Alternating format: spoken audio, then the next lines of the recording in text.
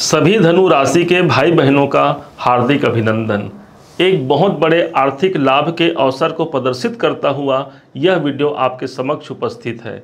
आज हम जानने वाले हैं कि कैसे एक बड़े आर्थिक लक्ष्य को प्राप्त किया जा सकता है, क्योंकि इसी समय पर अभी आज 19 तारीख से ही त्रिग्रही योग का एक समायोजन बनने वाला है।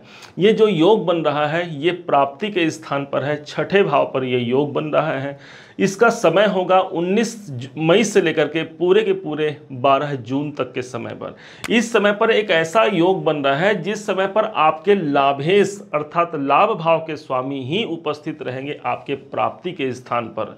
एक ऐसा अचूक उपाय आपको बताने जा रहे हैं, जिस उपाय के माध्यम से आप बहुत अधिक आर्थिक लाभ और संपन्नता को प्राप्त करते हुए अपने आर्थिक लक्ष्य तक पहुँच पाएँगे। एक ऐसा लॉजिकल उपाय होगा, जिस उपाय को करने मात्र से ही आपके आर्थिक संपन्नता और स्थिर लक्ष्मी की प्राप्ति आप अपने घर पर ला सकते हैं। ये उपाय बड़ा ही लॉजिकल होगा। इस त्रिग्रह योग के समायोजन से यह उपाय निकलेगा। इसलिए इसे स्वयं समझिएगा जानिएगा और यदि आपको लगे कि इस उपाय को वास्तव में करना चाहिए, ये लॉजिकल है, तब इस उपाय को ज़रूर कीजिएगा। समझते हैं, जानते हैं कि ये प्रभाव है क्या। एक मई सन 2024 का वो दिन था, जिस दिन देवगुरु बृहस्पति, जो कि आपके चतुर्थेश होते हैं, ये ठीक आपके छठे भाव पर उपस्थित हुए थे।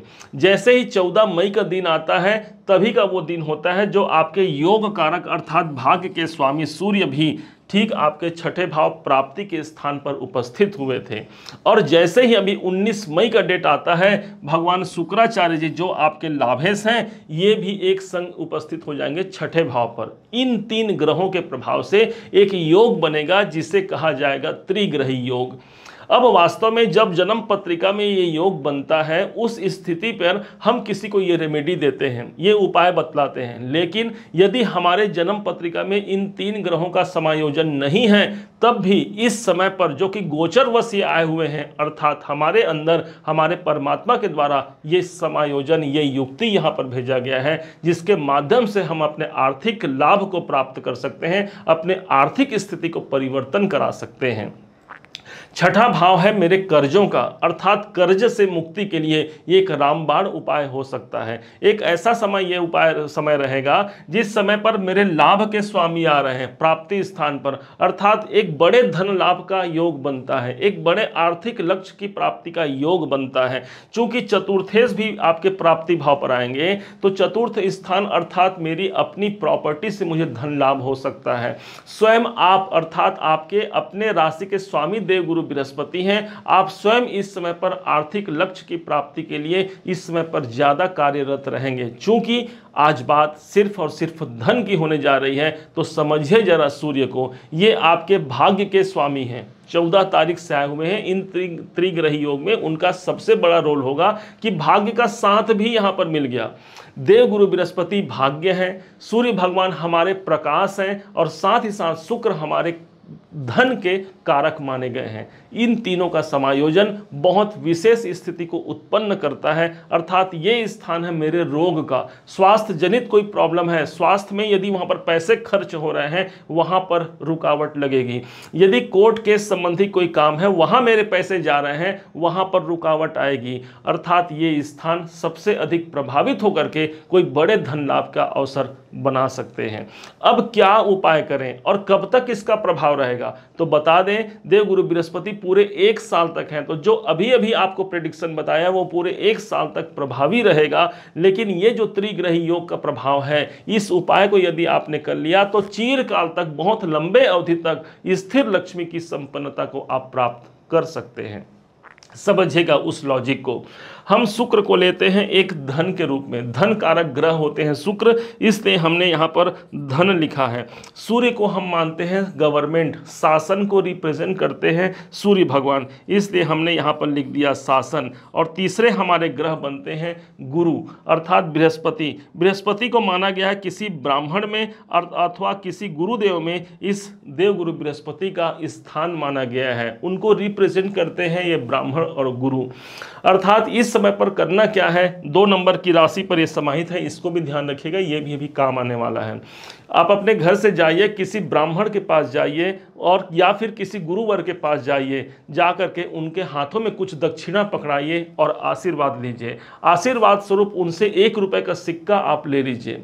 उस आशीर्वाद स्वरूप, उस सिक्के को लेकर के आपने अपने गुरु तत्व को मज़बूत कर लिया, अर्थात गुरु को यहाँ पर एक्टिवेट कर लिया।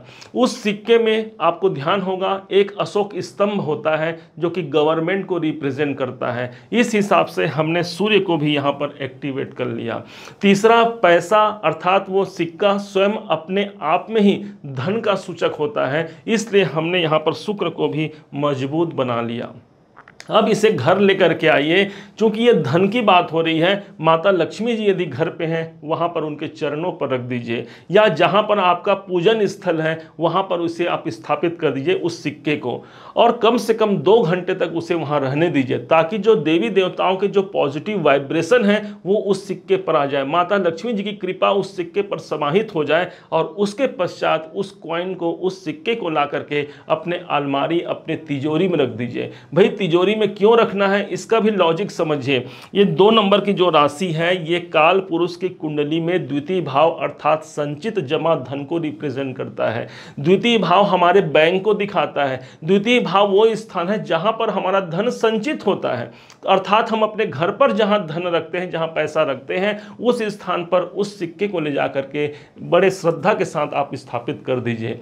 निश्चय मानिए, आर्थिक प्रबलता को सिद्ध करा देगा वो सिक्का। निश्चय मानिए मानिए कि आपने स्थिर लक्ष्मी को आपने वहाँ पर निवास करा दिया। अब एक दीर्घ काल तक वो संपन्नता मौजूद रहेगी। सालों साल में एक आध बार ऐसा संजोग बनता है जब तीन ग्रह अर्थात गुरु, सूर्य और शुक्र एक संग समाहित होते हैं। ये समय है मेरे आर्थिक लाभ को। ये समय है मेरे कर्जों से मुक्ति दिलाने का। ये समय है इस उपाय के माध्यम से हम बहुत अधिक लाभान्वित हो सकते हैं। रहने दीजिए उस अपने परेशानियों को। रहने दीजिए अपने तनावों को। ये एक ऐसा उपाय होगा उन परेशानियों से, उन तनावों से मुक्ति दिला करके आर्थिक रूप से हमें संपन्नवान बना जाएगा। उम्मीद है आप सबने इसे समझा है, आप सबने इसे जाना है। यदि आपने इसे समझा है, जाना है, मेरे समझाने का प्रयास यदि आपको सार्थक लगा हो, मेरे समझाने का तरीका यदि आपको सार्थक लगा हो तो हर बार की भांति इस बार भी अपना प्यार भरा लाइक और कमेंट करना कभी मत भूलिएगा। गुरु दक्षिणा के रूप में अपना लाइक तो ज़रूर कीजिएगा। पुनः एक बार फिर आप सभी का दिवस बहुत मंगलमय हो। इन्हीं शुभकामनाओं के साथ जय श्री राम।